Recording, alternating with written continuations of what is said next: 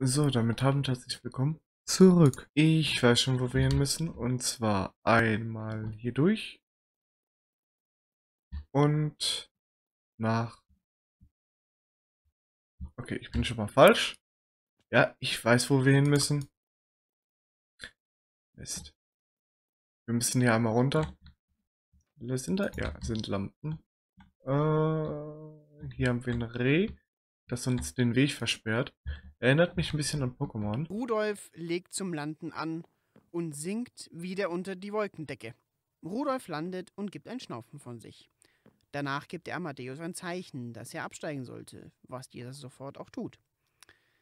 Er blickt sich um, doch mehr als das Iglu gibt die karge Landschaft nicht her.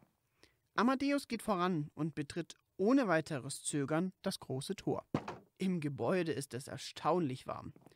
Viele kleine Kobolde in weihnachtlichen Anzügen, aber auch Yetis, angezogen mit Schürzen, rennen mit Geschenkboxen, Lebkuchen oder mit verschiedenen Einzelteilen von Spielzeugen. Das Iglo selbst sieht innen aus wie eine riesige Spielzeugmanufaktur.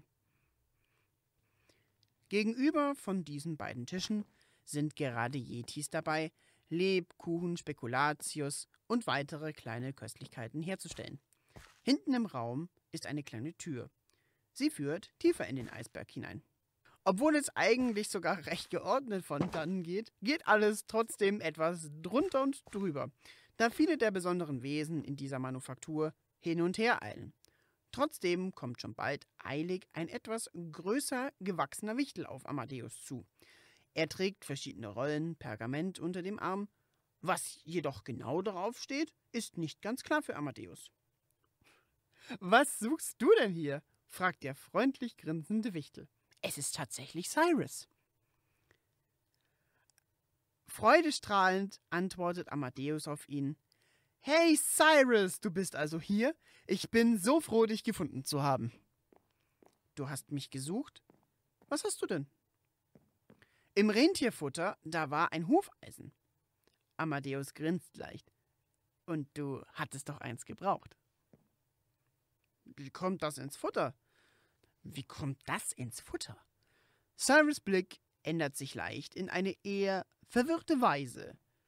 Aber gut, ich brauche es tatsächlich. Ein Pferd, was normalerweise eine Menge Gegenstände und Einzelteile zu den benötigten Orten hier bringt, hat ein kaputtes Hufeisen. Oh, dann ist es ja perfekt. Amadeus kramt in seinem Mantel herum und reicht Cyrus das Hufeisen. Danke dir. Ich bin dir etwas schuldig, Amadeus, wirklich. Aber ich muss jetzt wirklich wieder an die Arbeit.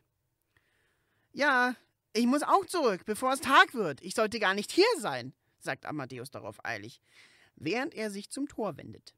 Richtig, du musst dich doch um die Rentiere kümmern. Dann wohl viel Erfolg. Nach einer kurzen Pause, in der Cyrus noch in seiner Tasche kramt. Amadeus ist schon fast draußen. Oh, und Amadeus! Hier, für dich. Cyrus gibt ein Zwinkern von sich und wirft ihm eine kleine Geschenkbox zu.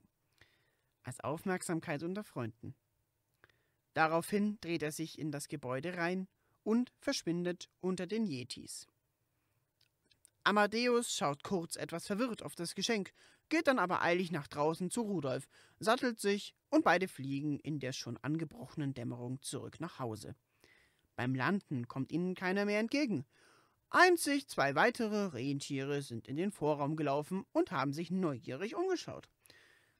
Als dann Rudolf den Raum mit Amadeus betritt und kurz kräftig auftritt, laufen diese zwei Entdecker in den Stall zurück, dicht gefolgt von den beiden. In der Stallung steigt Amadeus vorsichtig von Rudolf ab, das Geschenk von Cyrus fest in der Hand. Danach löst er den Sattel von ihm und hängt ihn an die Wand, als wäre nie etwas gewesen. Danke, Rudolf, wirklich danke, sagt Amadeus leise. Sein Blick ist ehrlich und fröhlich. Rudolf scharrt am Boden und nickt erneut. Amadeus blickt nur das Geschenk an. Besonders groß ist es wirklich nicht aber das ist ihm auch nicht unbedingt wichtig. Er löst leicht das Band, blickt zu Rudolf auf, dann wieder zum Geschenk. Langsam und vorsichtig entfernt er das Band und öffnet die Box. Er beginnt breit zu lächeln und zieht einen kleinen Lebkuchenstern heraus. Auf ihm sein Name niedergeschrieben. Kurz nachdem er es herausgenommen hat, bricht dieser aber auf und ein kleiner Lichtstrahl zieht durch den Raum an die Futterschale der Rentiere. Nach einem kurzen Moment der Blindheit schaut Amadeus nun zu der Säule. Sie glitzert wie der Sternenhimmel über den Wolken.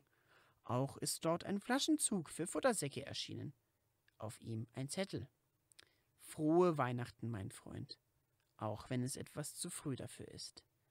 Ich hoffe, dir wird meine Konstruktion das Leben erleichtern. Wir sehen uns an Heiligabend. Gezeichnet Cyrus. Ich finde es immer sehr schön geschrieben. Und verwirrend, dass ich hier nicht rauskomme. Mist. Damit beende ich auch diesen Part. Ich hoffe, es hat euch gefallen. Tschüss. Jingle bells, jingle bells, jingle all the way. Oh, what fun it is to ride in a one-horse open sleigh.